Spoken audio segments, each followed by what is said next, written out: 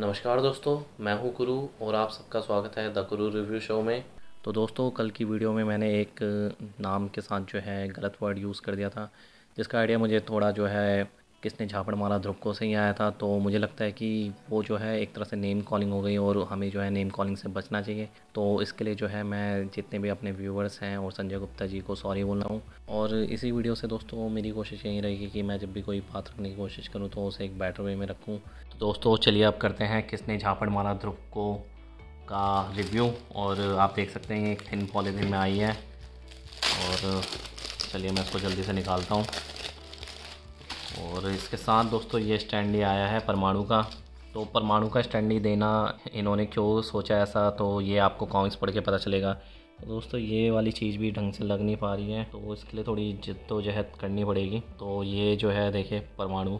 का है। स्टैंडिंग काफ़ी अच्छा लग रहा है क्यूट है। तो इसको चलिए साइड रखते हैं। तो दोस्तों, चलिए आप किसने झापड़ मारा ध्रुव को देख लेते हैं। इसका फ़र्स्ट लुक रिव्यू करते हैं पहले। तो जैसे आप देख सकते हैं, इसका संख्या नंबर है सात। Raj comics by Sanjay Gupta. किसने झापड़ मारा ध्रुव को? हाथ से डोला युगारम वर्ष 2021 अनुराग सिंह, मंदार गंगेल, सुशांत पंडा, बसंत पंडा।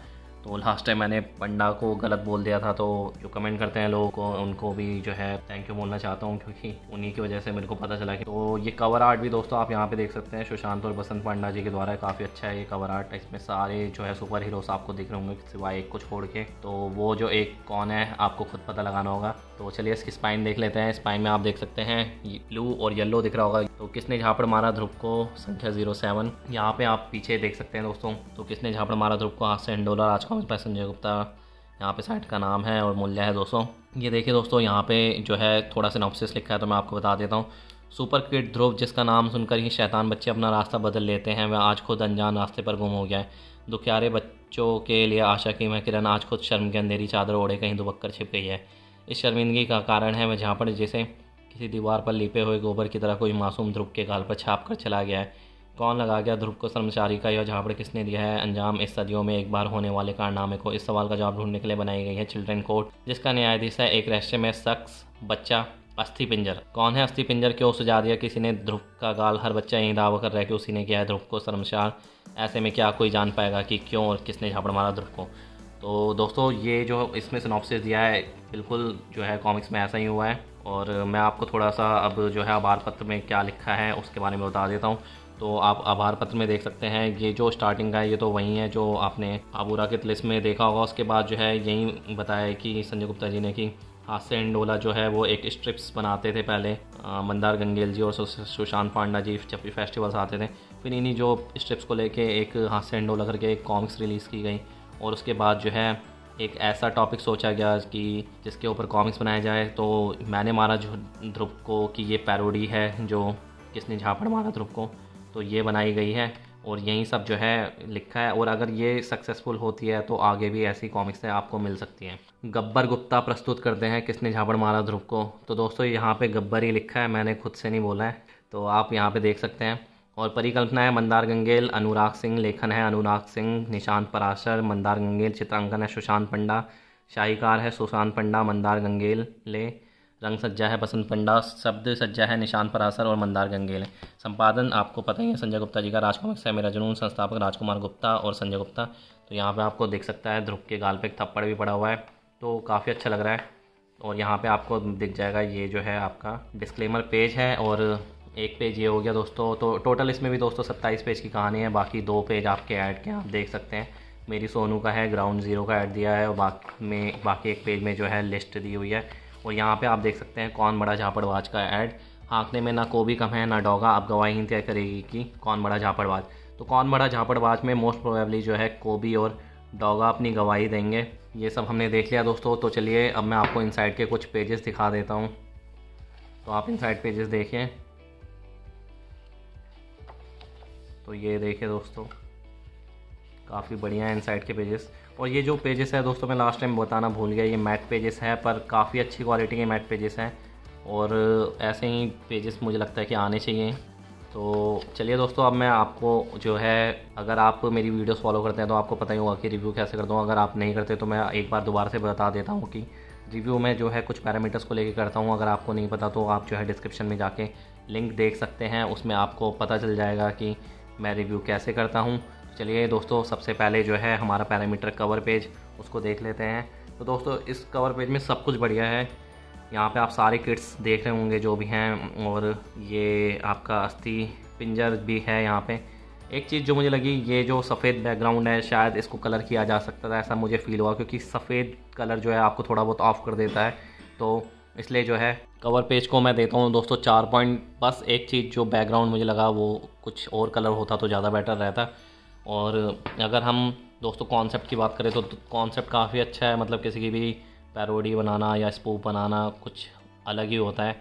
और ये किट्स में किया गया तो और भी बेटर है। तो कॉन्सेप्ट के लिए मैं फुल पंद्रह पॉइंट देता हूँ। कहानी की बात करी जाए तो दोस्तों, कहानी आपको सिनॉप्सिस से पता चल गई होगी। और कहानी में जो है मुझे लगा थोड़ा डॉगा का करेक्टर इन्होंने बहुत ही ज़्यादा बेवकूफ़ बना दिया। वैसे तो सारे बच्चे ऐसे हैं पर थोड़ा डॉगा का मुझे लगा। और इसमें जो है आपको काफ़ी सारी कॉमिक्सों के रेफरेंस मिलेंगे दोस्तों, जो है हाईलाइटेड किए हुए एक कॉमिक्स का और रेफरेंस है, पर वो जो है हाईलाइट नहीं किया हुआ है। तो वो मैं आपको जल्दी से दिखा देता हूँ, आप समझ जाएँगे। तो यहाँ पे देखिए दोस्तों, आपको जो है यहाँ पे रेफरेंस दिख गया होगा। तो ये एक कॉमिक्स का रेफरेंस दिया हुआ है और साथ में जो है काफ़ी सारी कॉमिक्सों के रेफरेंस है। ज़्यादातर जो कॉमिक्सों के रेफरेंस हैं वो हैं डॉगा की और साथ में जो है डॉगा और भेड़िया की कॉमिक्सों के भी तो काफ़ी सारे रेफरेंसेस हैं और काफ़ी अच्छी लिखी गई है। और बस मुझे जो थोड़ा डॉगा का करेक्टर ऐसा बना दिया अजीब सा तो वो थोड़ा फील हुआ। बाकी इसमें जो है, आपको पता चल जाएगा कि सबसे पहली कॉमिक्स में गवाही कौन देता है, उसी के ऊपर जो है पूरी कॉमिक्स है। इसके बाद जो है अगली गवाही आपको समझ आ गया होगा ऐड से जो है डॉगा और भेड़िया की है। तो इसलिए दोस्तों, कहानी को जो है मैं बारह पॉइंट देता हूँ। अच्छी कहानी है, काफ़ी बढ़िया लगी मुझे पढ़ के। इसके बाद दोस्तों हम आते हैं डायलॉग्स में तो डायलॉग्स जैसे कि मैंने आपको बताया है कि इसमें काफ़ी सारी कॉमिक्सों के रेफरेंस दिए और वो काफ़ी चालाकी होती है कि आपको सोचना पड़ता है कि क्या डायलॉग रखना चाहिए। तो डायलॉग्स के लिए जो है मैं नाइन आउट ऑफ़ टेन देता हूँ दोस्तों और काफ़ी अच्छे डायलॉग्स के अंदर आपको मज़ा आएगा पढ़ के। और एक चीज़ और है दोस्तों कि आप इसको ऐसे ही मत पढ़िएगा कि ये बड़ों के लेवल की कॉमिक्स हैं, ये बच्चों के लेवल की कॉमिक्स हैं। किड्स यूनिवर्स बनाया हुआ है तो इसको जो है छोटे बच्चों के लिए ज़्यादा मैं बोलूँगा कि प्रीफर किया जाएगा। रैदर दैन बड़े तो आपको जो है उसी के हिसाब से आप देखेंगे तो आपको बढ़िया लगेगी। तो इसके बाद दोस्तों चित्रांकन में आते हैं। चित्रांकन किया गया सुशांत पंडा जी के द्वारा और सुशांत पंडा जी ने काफ़ी अच्छा चित्रांकन किया है। जो किड्स के जो उन्होंने स्केचेस वगैरह बनाए हैं, आपको जो है काफ़ी देखकर अच्छे लगेंगे। तो इसमें नो डाउट दोस्तों, पूरे के पूरे पंद्रह पॉइंट मिलते हैं। मुझे लगता है कि जो चित्र हैं वो इस कॉमिक्स की जान भी है, भले इसमें डिटेलिंग हो या ना हो इतनी जो है मेरे को नहीं लगता कि किड्स यूनिवर्स की कॉमिक्स में देखना चाहिए। साथ के साथ दोस्तों, इसमें कलरिंग का ये मैं बोलूँगा कलरिंग भी काफ़ी बेटर हुई है तो कलरिंग को भी जो है मैं पूरे पूरे दस पॉइंट देता हूँ। नो डाउट कलरिंग काफ़ी अच्छी है, जित जहाँ पे भी आपको दिखेगी। इसके बाद दोस्तों, आता है आपका कैलीग्राफी कैलीग्राफी भी अच्छी हुई है, उसके लिए भी पूरे पाँच पॉइंट जहाँ पे भी आप अक्षर पढ़ेंगे, आपको ईजिली पढ़े जाएँगे वो सारे के सारे अक्षर। इसके बाद दोस्तों आती है आपकी ग्रिप ग्रिप मुझे थोड़ा बहुत लगा कि कॉमिक्स की ग्रिप जो है, आपको इतनी बोरियत नहीं होती, पर ऐसे अगर आप टीनेजर हो या फिर छोटे छोटे हो तो उनको ज़्यादा बढ़िया लगेगी। तो मेरे लिए थोड़ी ग्रिपिंग कम थी तो ग्रिपिंग के लिए मैं देता हूँ थ्री पॉइंट्स और इम्पैक्ट मैं बोलता हूँ कि इम्पैक्ट इस कॉमिक्स का जो भी था अच्छा था तो इम्पैक्ट के लिए मैं चार पॉइंट देता हूँ। तो दोस्तों, किसने जहाँ पर मारा ध्रुव का टोटल होता है seventy seven out of eighty five पंद्रह पॉइंट जैसे कि मैं फैंस के लिए रखता हूँ तो वो उसका जल्दी जो है मैं पोल करूँगा फिफ्टीन पॉइंट्स का आपका हाउस ऑफ़ कॉमिक्स में। मुझे लगता है कि अगर आपके घर में बच्चे हैं तो आप उनको ये कॉमिक्स से ज़रूर पढ़ा सकते हैं, और मुझे तो काफ़ी बढ़िया लगी। और आपको भी मुझे लगता है कि अच्छी लगेंगी, अगर आपको ये जो पहले के हाथ से एंडोला की स्ट्रिप्स थी, वो अच्छी लगती थी। और काफ़ी अच्छी बनाई है तो नो डाउट ये आपको लेनी बनती ही है और इसको जो है मैं बिल्कुल रिकमेंड करूँगा। तो दोस्तों, इसके साथ मेरा किसने झापड़ मारा? ध्रुपको का रिव्यू ख़त्म होता है। अगर आपने चैनल को अब तक सब्सक्राइब नहीं किया तो आप चैनल को सब्सक्राइब कर लीजिए और बेल आइकन दबा लीजिए। साथ में आप कमेंट कीजिए और बताइए कि आपको जो है कैसी लगी अगर आपने ये कॉमिक्स पढ़ ली है। साथ के साथ शेयर कीजिए और लाइक कीजिए इस वीडियो को। अब मैं अगली वीडियो दोस्तों आपके लिए जल्दी ही किसी सेट का रिव्यू लेकर आऊँगा। तो आप वेट करिए। चलिए मिलते हैं अगली वीडियो में। तब तक के लिए धन्यवाद।